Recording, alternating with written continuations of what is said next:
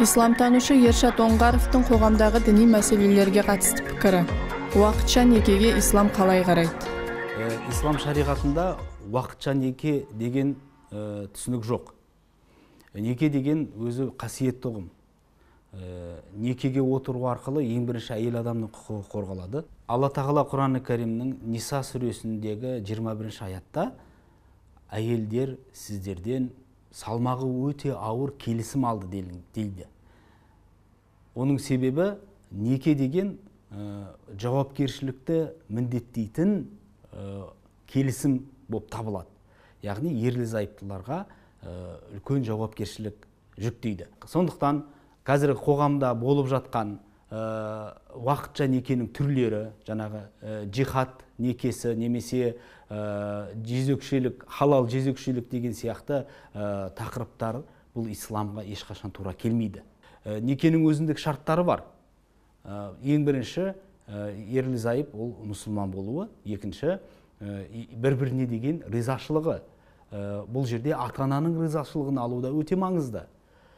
Үшіншіден сол неке ақысы ретінде қалыңдыққа төленетін мәһірі болу керек.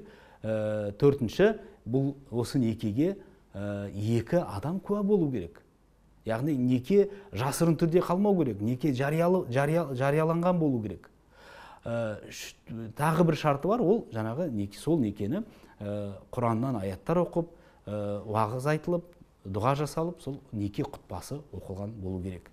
Сонда неке дұрыс болады. Бүгінгі күні белгілі бір ағымдардың тарапынан жасалып жатқан уақытша некелерді естігенде жағаңызды ұстайсыз бұл ешқашан шариғатқа сай келмейді. Ол, жерде ә, әйел адамның құқығы тапталып жатыр.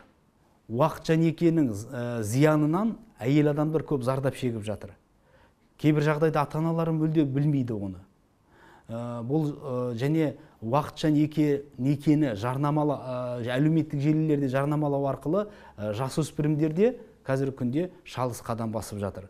Сондықтан ә, неке ол шариғатта белгіленген талаптар бойынша ә, жасалу керек.